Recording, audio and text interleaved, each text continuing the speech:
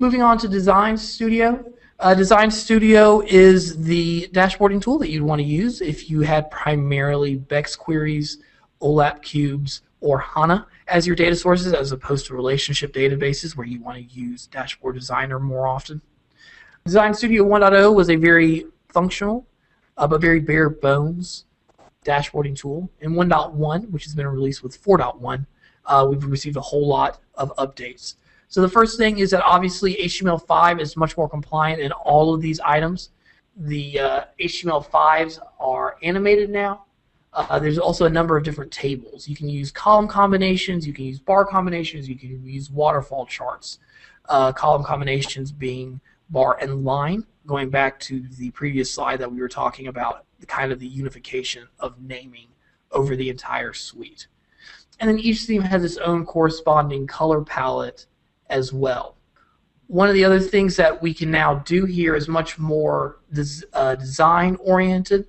We can distribute items uh, both left and horizontally on top of each other. As you can see here, we can uh, we can uh, line them so that they center on the left or they center on the horizontal line between buttons. Um, and that's included in the same containers or without the same containers.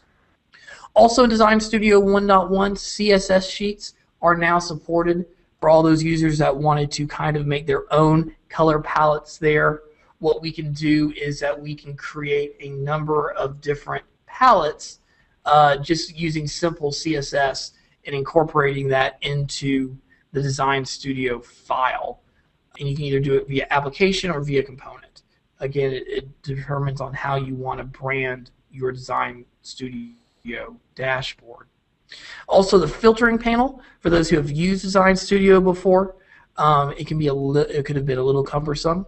It was improved a little bit so that uh, submit events now can trigger events as opposed to just changes in data. Uh, dimensions name can be either shown by their keys, their names, or their values, and ranges can be added uh, as to include multiple selections as well. Now, we can also use global parameters throughout Design Studio. Um, that means at the application level, you can pass in a value at runtime and then use that variable all the way through the entire application. You can also you can also pass in data or filters or certain security limits, that sort of thing.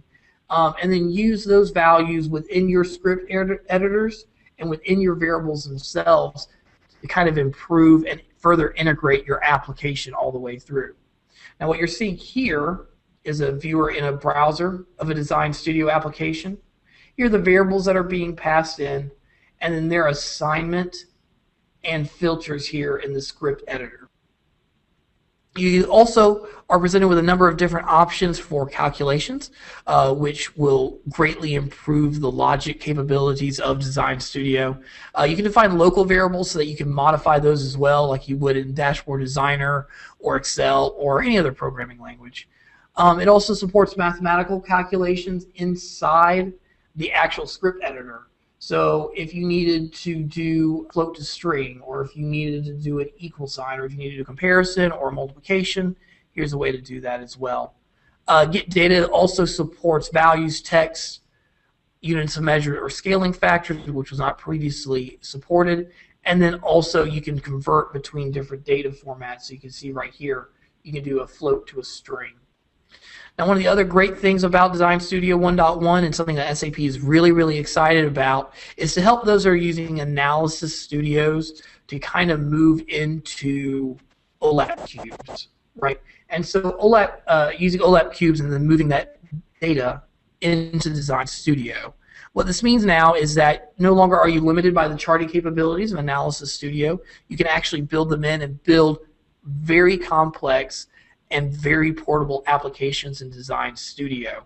So all you have to do is build a workspace and an analysis for OLAP, and then you can export that out to Design Studio so that you can display it on a mobile device or on desktops or share it in some other way other than through the BI platform.